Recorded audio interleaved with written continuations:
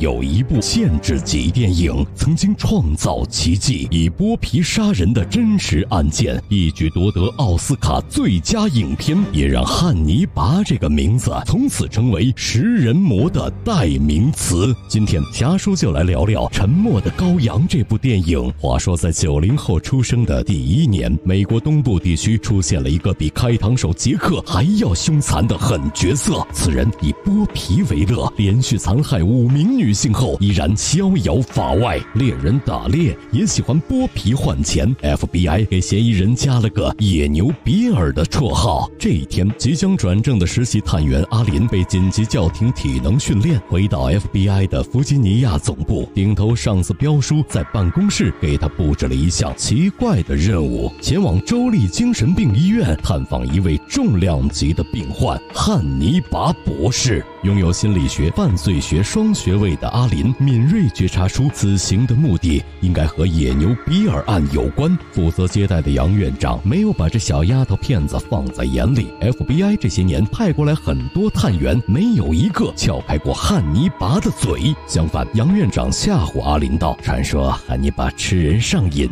咬断过上千条舌头，还差点啃烂了女护士的脸。我们背地里都叫他千条叔。”说话间，阿林已经穿过了最后一道铁。门宛如监狱的单人间，关押着各种疯癫之人。唯独走廊尽头的房间用透明的有机玻璃隔开，显得与众不同。传闻中的食人魔千条叔梳着油光锃亮的大背头，脸上无时无刻不挂着迷人又诡异的微笑，一双蓝色的眼珠仿佛能够看穿人的灵魂。果然，阿玲板凳还没坐热，千条叔就猜出了他的来意。FBI 想让他给出野牛。比尔的犯罪侧写，以便早日抓捕变态杀人魔。然而，千条叔自己就是个老变态。他在仔细打量了阿林一番后，他反而无情的嘲讽：“穿廉价鞋，抹大宝润肤露，搭配还算有品味，是渴望麻雀变凤凰。你。”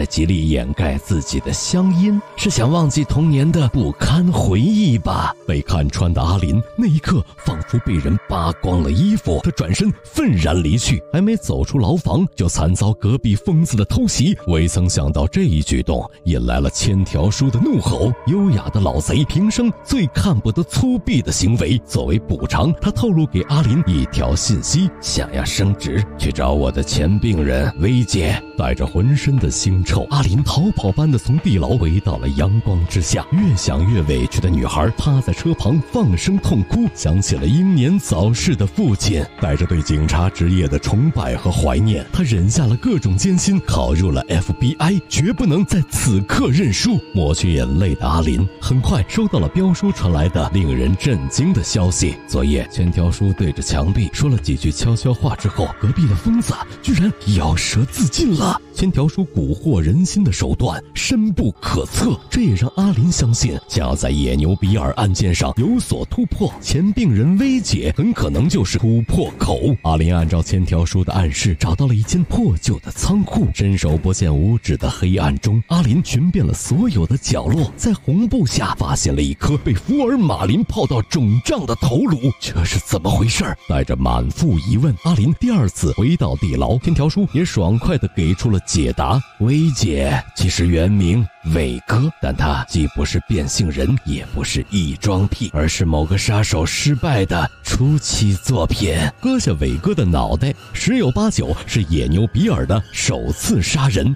但他的动机是什么？阿林怎么也猜不透。带着夜视仪的野牛比尔并没有停止死亡狩猎，他将好心帮忙的姑娘骗上车，几拳将其打到昏迷，接着扯下了姑娘的连衣裙，看到光洁嫩滑的后背，便心满意足的消失在罪恶的深夜。一周后，FBI 接到了西弗吉尼亚州警方的通报，说是有具剥皮女尸冲到河滩之后被人发现。标叔闻讯带上阿林飞到现场，法。医揭开裹尸的白布单一股酸爽的气味扑面而来。死者背部巨大的两块菱形伤口，宛如被折断翅膀的蝴蝶，令人惨不忍睹。阿林咽下想吐的早饭，再一瞥取证的照片，发现了异样。死者的咽喉处竟然塞着一枚肥硕的虫蛹。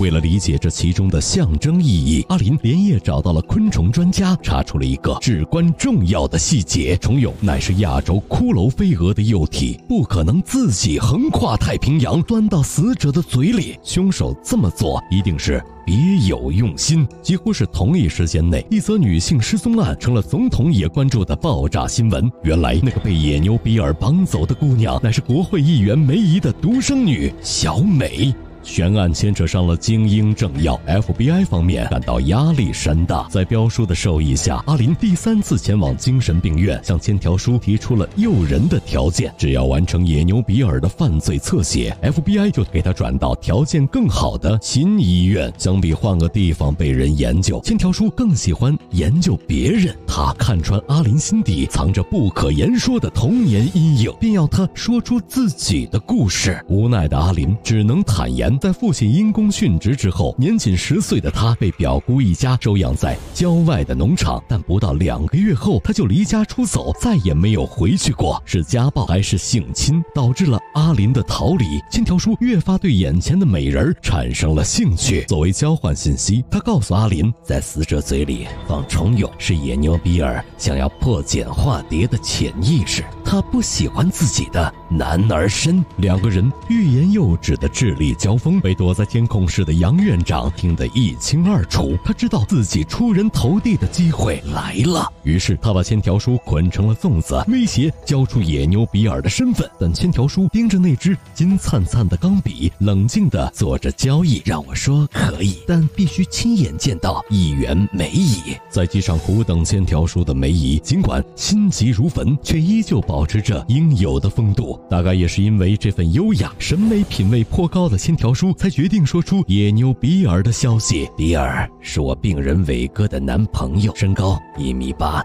体重一百六十，金发碧眼，三十五岁左右。至于能不能抓到他？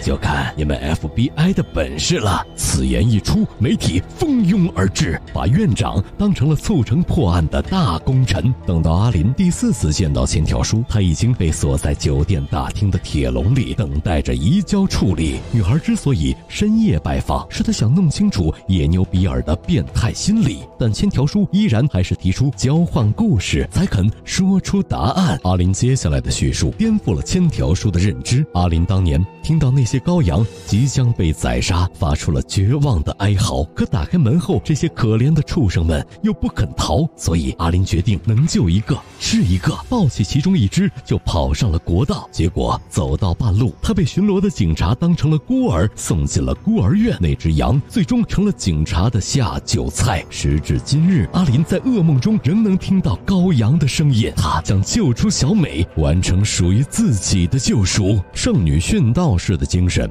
在那一瞬间给女孩披上了令人动容的光环。千条叔沉醉其中，用一根手指的触碰，仿佛创世纪中上帝点化亚当，完成了他和阿林之间的精神贯通。那一句。再见了，阿林。隐约传递着食人魔的越狱决心。天真的两名守卫没把这话放在心上，也完全没有注意到千条叔指缝中暗藏的钢当几位看到手铐套在自己胳膊上的时候，几乎大脑 一片空白。千条叔没给两人思考的时间，在巴赫哥德堡变奏曲的背景音乐中，他不带一丝情感地挥舞着警棍，沉醉于屠杀的快感之中。听到枪声响起，楼下的警察们举。枪冲入大厅，没有见到千条叔的身影，却撞见了此生难忘的一幕：一名警卫被开膛破肚，模仿着耶稣受难，高悬在铁笼之外；而另一名警卫满脸血污的倒在地上，尚有一丝呼吸。纷乱的抓捕现场，救护人员来不及清洗，就匆忙拉走了突然抽搐的幸存者。警察们现在的首要任务是堵住没逃出酒店的千条叔。循着电梯滴落的血迹，警察扒开大门向。下望去，千条叔一动不动地趴在暗处，即便子弹击穿了大腿，也没有发出半点声响。难道他在装死吗？是的，千条叔的确在装死。只不过等到警方发觉他已经扯下了人皮面通过救护车逃得无影无踪。连续的命案极大的摧毁了 FBI 的信心，仍在寻找野牛比尔的阿林也陷入了困惑。他想起了千条叔的一句话：凶手的变态欲望总是从日常的渴求中萌芽。这就意味着野牛比尔同样会选择熟人犯罪。他杀掉的第一个女孩小丽，很有可能是他曾经的朋友。想到这里，阿林驱车来到了俄亥俄州，实地走访了小丽的故居。在衣橱中，他看到了缝着菱形翅膀的旧衣服，顿时恍然大悟：野牛比尔是个裁缝，他专挑丰盈的女孩绑架，是为了制作人皮衣服。阿林找来小丽的闺蜜，聊起了女孩的生前事，获得了关键信。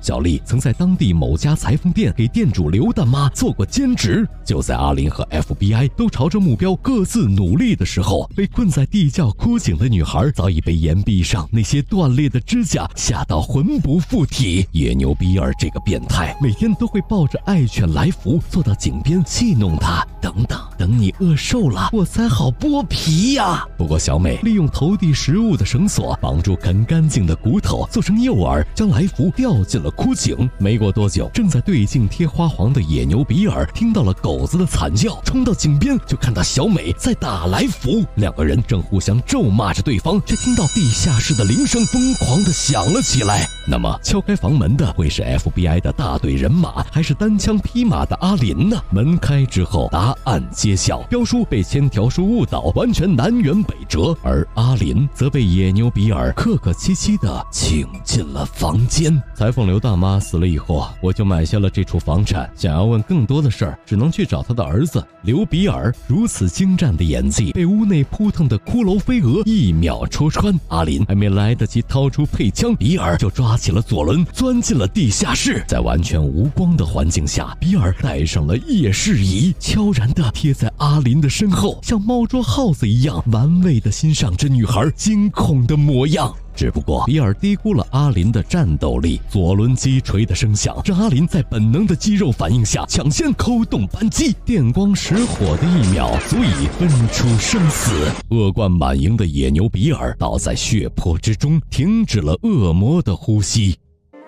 看完《沉默的羔羊》，家属想说，这部伟大的电影，哪怕再详细的说上半个小时，都无法道尽它蕴含的意义。在表演层面，安东尼·霍普金斯仅仅出场十六分钟就拿下了奥斯卡影帝，他的每一个邪魅的眼神都足以吊打当今流量明星一个小时。更关键的是，本片也成为犯罪心理学的一座宝库，即便是食人魔手中的一张素描，都能够解读出 N 种不同的含含。义参考真实的人物原型，野牛比尔有着一个可怜的童年。他的母亲是个严格到几乎执念的教徒。这个女人从小教育比尔，女人都是魔鬼，导致男孩在成长发育中心态极度扭曲，到死都保持着童子身。到最后，比尔没钱做变性手术，只好通过杀人剥皮的手段成为女人，更是成为母亲那样的女人。好了。今天沉默的羔羊就说到这里。想要了解更多关于食人魔汉尼拔的后续，在随后红龙以及少年汉尼拔的深度解说中，我们接着聊。